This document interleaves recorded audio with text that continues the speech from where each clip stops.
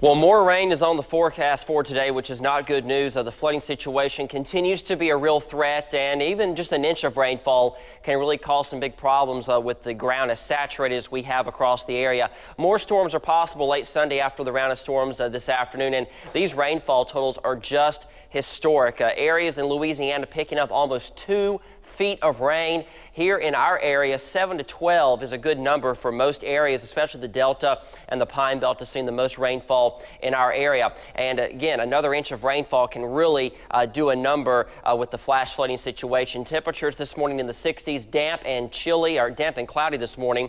We have an area of low pressure, which is still over Texas. And again, that is really just helping to pump in this moisture straight from the Gulf of Mexico and combine that with another disturbance this afternoon and more showers and thunderstorms are possible uh, later on this afternoon. Predictor Plus model shows those showers and thunderstorms developing and moving across the area during the afternoon into the evening. No severe weather expected, but we have another round of thunderstorms expected tomorrow, and those thunderstorms could be strong as they move across the northern part of the state, and again, very scattered. But again, another inch of rainfall is forecast with our computer model. You can see that right there. And then up into Arkansas, this area in purple could be anywhere from three to four inches of rainfall. So widespread, uh, one to three inch rainfall totals again this weekend. So on top of the rain that we've already seen, uh, this could uh, lead to more uh, flash flooding concerns. 7-day forecast shows uh, we do dry out from Monday through most of next week. As we head towards Friday, another chance of rainfall. Don't forget tonight is daylight saving time. Don't forget to set your clocks forward one hour.